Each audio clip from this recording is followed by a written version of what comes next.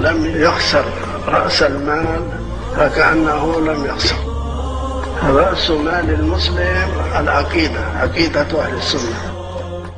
وهي بحمد الله تعالى موجودة فينا الجمهور بعد على تلك العقيدة.